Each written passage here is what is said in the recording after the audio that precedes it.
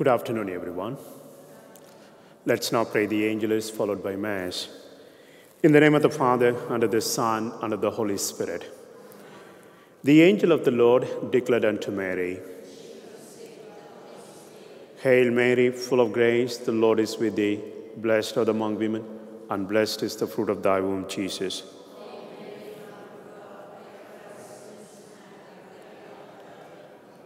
Behold the handmaid of the Lord. Hail Mary, full of grace, the Lord is with thee. Blessed art thou among women, and blessed is the fruit of thy womb, Jesus.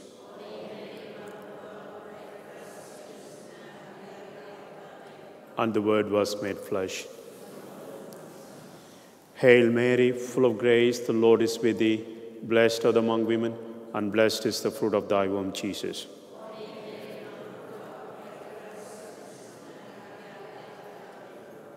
Pray for us, O Holy Mary, Mother of God. Let us pray. Pour forth, we beseech thee, O Lord, your grace into your hearts, that as we have known the incarnation of Christ, thy Son, by the message of an angel, so by his passion and cross, we may be brought to the glory of his resurrection through the same Christ our Lord. Amen. Glory be to the Father, and to the Son, and to the Holy Spirit.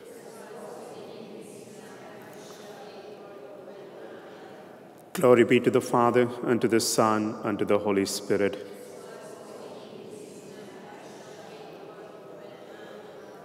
Glory be to the Father, and to the Son, and to the Holy Spirit.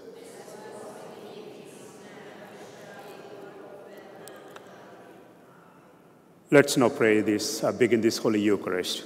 In the name of the Father, and of the Son, and of the Holy Spirit. The grace and peace of our Lord Jesus Christ, and the love of God, and the communion of the Holy Spirit be with you all. Dear friends, in the liturgy of the word today, Jesus places a definite challenge on all of us. When you hear God's word, what will happen in your word? Your life is going to be happy, joyful, and you will be flourishing in your lives. But the moment we don't hear and put the word of God into action, then we know we may not be able to have the life as we used to listen to God's word. And today I have taken the Mass of Our Lady being the Saturday. We also pray through her intercession as we go, as we are going through this painful pandemic. We pray for Mother's intervention because Mother prayers are so powerful. So we pray through our Blessed Mother as well that we find a definite solution for the pandemic.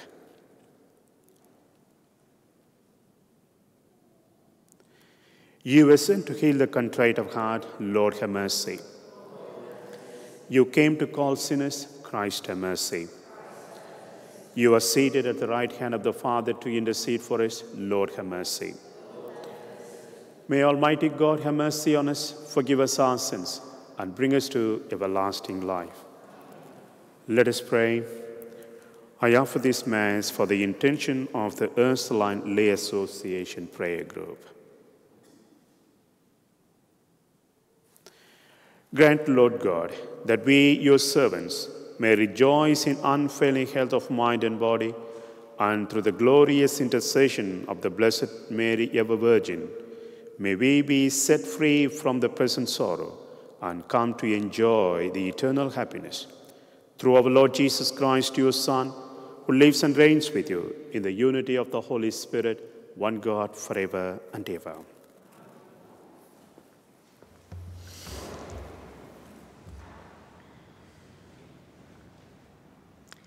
A reading taken from the first letter of St. Paul to the Corinthians. Someone may ask, How are dead people raised? And what sort of body do they have when they come back?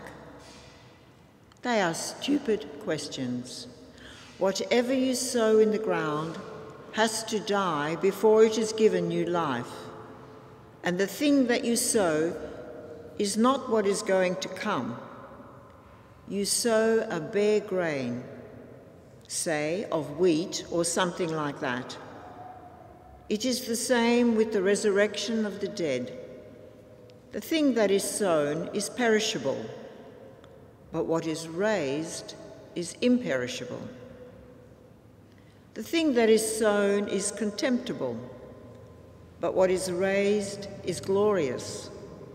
The thing that is sown is weak, but what is raised is powerful. When it is sown, it embodies the soul, and when it is raised, it embodies the spirit. If the soul has its own embodiment, so does the spirit have its own embodiment. The first man, Adam, as scripture says, became a living soul, but the last Adam has become a life giving spirit. That is, first the one with the soul, not the spirit, and after that the one with the spirit. The first man, being from the earth, is earthly by nature. The second man is from heaven. As this earthly man was, so are we on earth. And as the heavenly man is, so are we in heaven. And we, who have been modelled on the earthly man, will be modelled on the heavenly man. The word of the Lord. I will walk in the presence of God with the light of the living.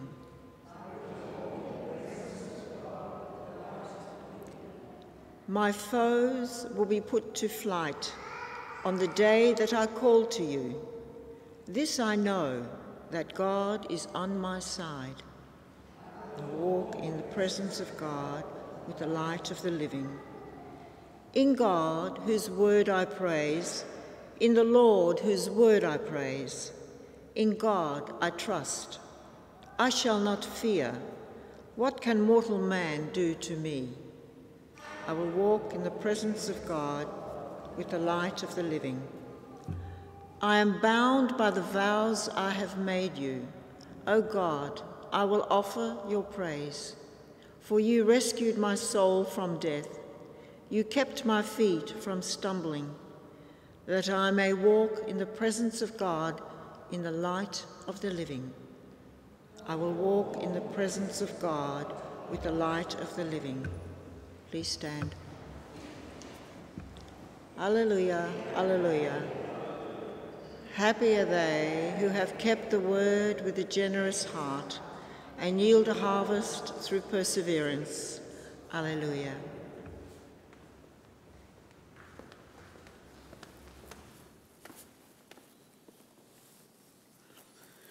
The Lord be with you. A reading from the Holy Gospel according to Luke. With a large crowd gathering and people from every town finding their way to him, Jesus used this parable. A sower went out to sow his seed. As he sowed, some fell on the edge of the path and was trampled on, and the birds of the air ate it, ate it up. Some seed fell on rock, and when it came up, it withered away, having no moisture. Some seed fell among thorns, and the thorns grew with it and choked it. And some seed fell into rich soil and grew and produced its crop a hundredfold. Saying this, saying this, he cried, Listen, anyone who has ears to hear. The disciples asked him what this parable might mean, and he said, The mysteries of the kingdom of God are revealed to you. For the rest, there are only parables, so that they may see but, but not perceive, listen but not understand. This then is what the parable means. The seed of the word of God, those on the edge of the path, are people who have heard it and then the devil comes and carries away the word from their hearts in case they should believe and be saved. Those on the rock are people who, when they first hear it, welcome the word with joy, but these have no rule. They, they believe for a while, and in time of trial, they give up. As for the part of that fell into the thorns, this is people who have heard, but as they go on their way, they are choked by the worries and and the riches and the pleasures of life and do not reach maturity. As for the part in the rich soil, this is the people with a noble and generous heart who have heard the word of God and take it to themselves and yield a harvest through their perseverance. And dear friends, the gospel of the Lord.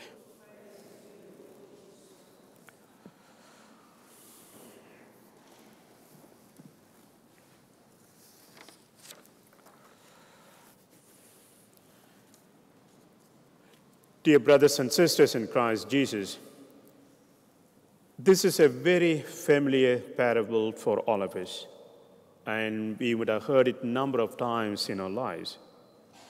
This familiar parable identifies four possible ways in which we hear the word of God. Some are like trodden path, some like rocky ground, others like a bed of thorns, so bed of thorns, and some are rich, like rich soil. So, in each one of these images, there is a possibility of growth with the Word of God. Let me first start with the, the other way, you know, the rich soil. When people hear the Word of God, and as Jesus says, you know, they listen to it and understand, and they, when they persevere in what they hear, they really produce lots and lots of fruit. And the second thing, know, the seed among the thorns, when the word of God is given to them, you know, it is, you know, they receive it with joy and they are so happy about it. But when the troubles of daily life and temptations come, then they begin to lose it. The seed that is sown on the rocky ground, you know, results in the word growing, you know, that is growing, but ultimately dies off when, when, they, when their life becomes hard and hard, then they give it up. The last one is, is, the, saw is the seed that fell on the trodden path. And as there is no moisture, as there is no possibility of any growth, then the word of God, you know, the seed dies. So, having said this one, Jesus says, Those who have heard, let them hear. It's very strange. What does it mean? You know, when I hear, lots of things I hear now, but my attention is only on what I'm talking at the moment. So when I hear with attention, with full listening, then I begin to understand the challenges of the message, what is being spoken to me, and what I am invited to do. So because I listen with the full faculty. And when I listen with the full faculty, I also listen to the content of it. So if I don't pay attention to what is, you know, what is surrounded by me, then it doesn't take any interest to me. So that's exactly Jesus says, okay, there are lots of people sitting around, and the same message is preached to all of them. Some hear it, some hear and listen it with lots of interest, and they try to put into action what they hear. And some they are just there, but they don't really pay attention to that. And also, they says the devil is the one which comes away and takes all the, the interest in them. So it is good to understand when the word of God comes to me, do I really listen with, with, with my full attention, with, with my full faculty? Because when I listen that, then I am challenged. I know where to take my direction because I know where I am standing in the, in the midst of my life. So, dear friends, um, Jesus' you know, teachings are always an invitation and a challenge. When I take that invitation and challenge and work on them, then my life is going to be happy because I know this life giving word is going to bring about lots of transformation in my life. So just think about God's word. Do I just hear or do I hear and listen and put them into action?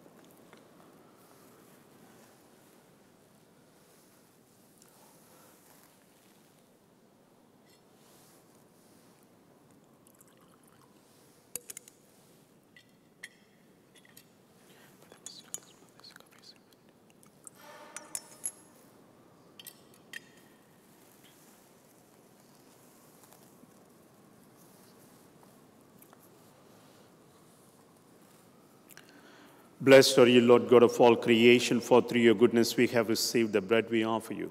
Fruit of the earth and work of human hands, it will become for us the bread of life.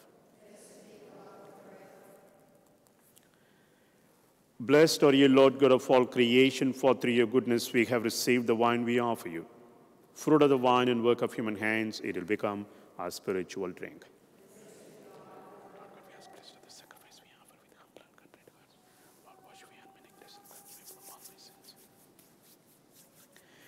Pray, my dear brothers and sisters, that my sacrifice and yours may be acceptable to God the Almighty Father.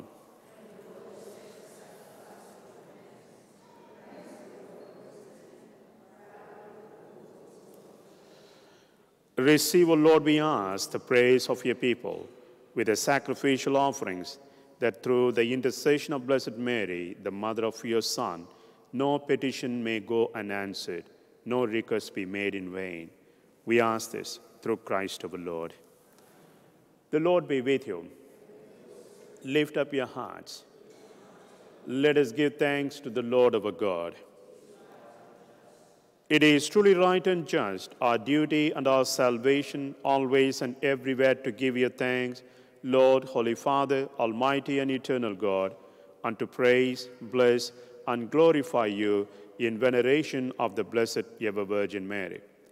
For by the overshadowing of the Holy Spirit, she conceived your only begotten Son, and without losing the glory of virginity, brought forth into the world the eternal Lion, Jesus Christ our Lord. Through him the angels praise your majesty, dominions adore, and powers tremble before us. Heaven and the virtues of heaven and the blessed seraphim worship together with the exaltation. May our voices, we pray, join with theirs in humble praise as we acclaim, Holy.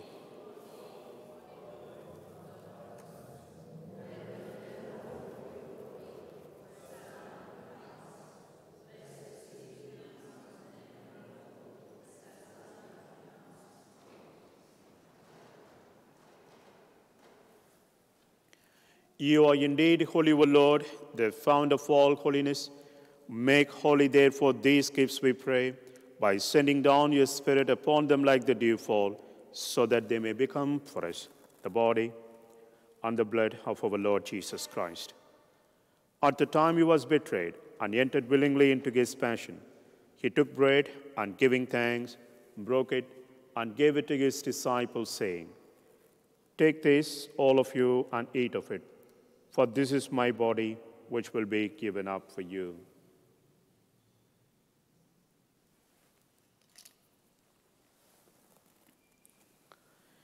In a similar way, when supper was ended, he took the chalice, and once more giving thanks, he gave it to his disciples, saying, Take this, all of you, and drink from it, for this is the chalice of my blood, the blood of the new and eternal covenant, which will be poured out for you and for many for the forgiveness of sins.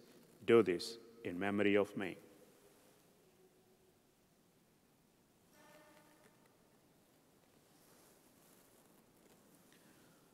The mystery of faith when we eat this bread. We proclaim your death, O Lord, until you come again. Therefore, as we celebrate the memorial of his death and resurrection, we offer you, Lord, the bread of life and the chalice of salvation, giving thanks that you have held us worthy to be in your presence and minister to you. Humbly we pray that partaking of the body and blood of Christ, we may be gathered into one by the Holy Spirit. Remember, Lord, your church spread throughout the world and bring her to the fullness of charity, together with Francis our Pope, Timothy our Archbishop, Don his assistant, and all the clergy. Remember also our brothers and sisters who have fallen asleep in the hope of the resurrection, and all who have died in your mercy. Welcome them into the light of your face. Have mercy on us all, we pray that with the Blessed Virgin Mary, Mother of God, with blessed Joseph, her spouse, with the blessed apostles, and all the saints who have pleased you throughout the ages, we may merit to be co-heirs to eternal life and may praise and glorify you through your Son, Jesus Christ. Through him and with him and in him, O God Almighty Father, in the unity of the Holy Spirit, all glory and honor is yours forever and ever.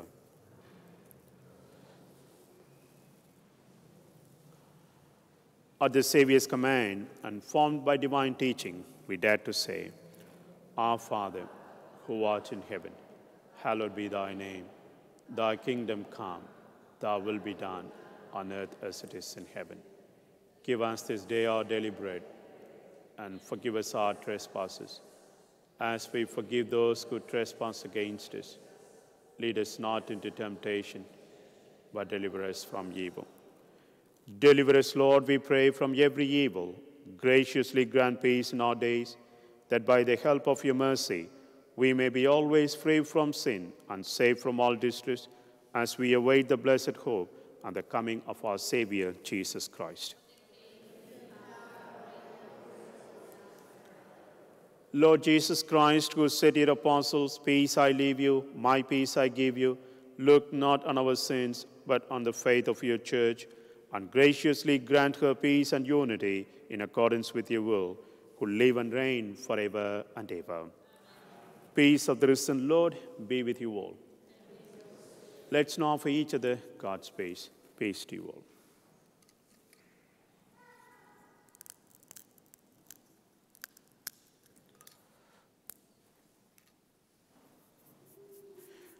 So we pray, Lamb of God, you take away the sins of the world. Have mercy on us. Lamb of God, you take away the sins of the world. Have mercy on us. Lamb of God, you take away the sins of the world. Grant us peace.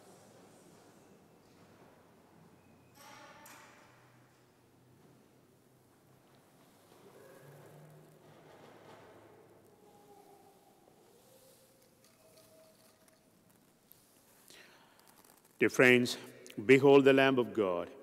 Behold him who takes away the sins of the world. Blessed are those called to the supper of the Lamb. Lord, I'm not worthy that you should enter under my roof, but only say the word, my soul shall be healed. May the body and blood of Christ keep me safe for eternal life.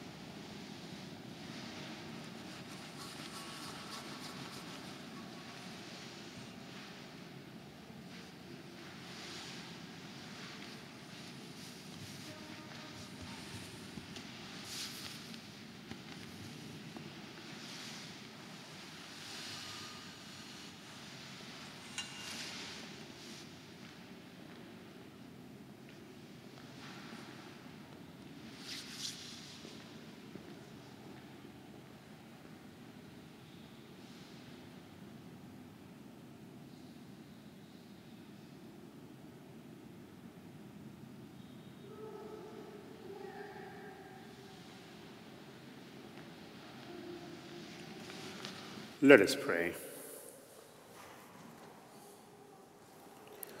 As we receive this heavenly sacrament, we beseech, O Lord, your mercy, that we who rejoice in commemorating the Blessed Virgin Mary may, by imitating her, serve worthily the mystery of our redemption. We ask this through Christ our Lord. The Lord be with you. May Almighty God bless you all, the Father, Son, and the Holy Spirit. Dear friends, go forth. The Mass is ended. Thank you and wish you all a good day. Thank you.